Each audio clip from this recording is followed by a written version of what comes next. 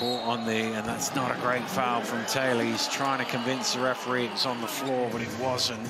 Oh, those soft fouls are easy work for... Nelson, late in the shot clock. Driving in, nice finger roll from Luke Nelson. Wow, he's done really well there. Gegic. Begarin fires in the three. And that's his first of the game. Being the one who wins the battle. Another quick release three. That one is good from Denis.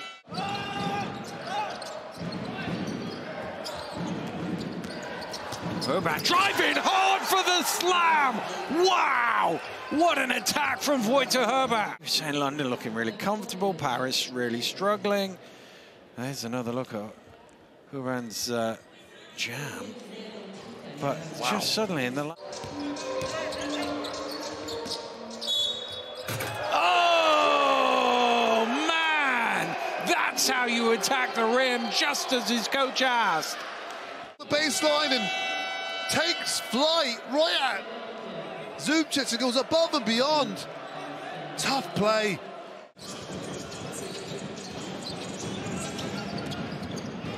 There's the lob and there's the jam right off the playboard. Time after time.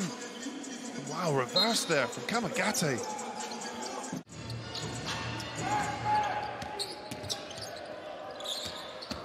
Zubcic driving in. That will count. Blocking foul the call. Zubcic going to line for the and one. Well, again, straight to the rim. This time it was Begarin, but he can't finish. Oni in the corner. Well, had a long two. Oni, bullet pass to Nelson. Oni this time takes it in, shovels it to Zubcic,